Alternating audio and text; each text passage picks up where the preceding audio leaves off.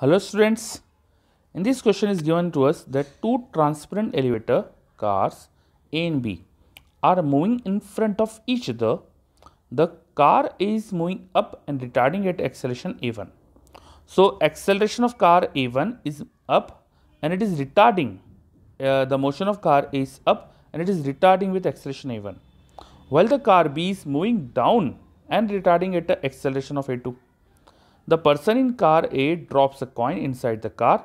What is the acceleration of the acceleration observed by the person in car B? Of course, he must be uh, they must be asking the acceleration of the coin. So there are two cars. Let us draw these cars. Let us assume this is car A and this is car B. It's given in question that the car is moving up and retarding at acceleration A1. So car A is moving up, so its speed is up, but it is retarding, so its acceleration should be downward directed. The car B, it's given in question, the car B is moving down and it is retarding at A2. So car B, which is moving,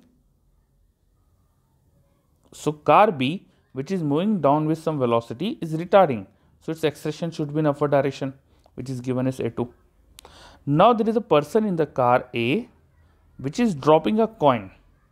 So coin when it is dropped should move with an acceleration g in downward direction. So its acceleration with respect to car B is asked to us. So acceleration of coin with respect to B should be acceleration of coin minus acceleration of B. Let us assume upward direction is positive direction.